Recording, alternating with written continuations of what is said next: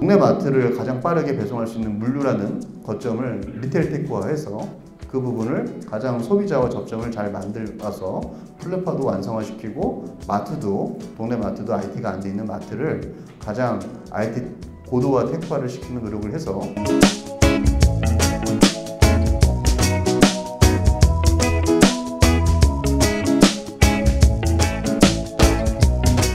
S증권에서 1조의 가치로 한번 인정을 해서 작년에 했는데 이제 내년에는 더 큰 목표를 가지고 M&A를 통한 회사의 볼륨업을 시킨 다음에 내년에는 꼭 성장을 시키도록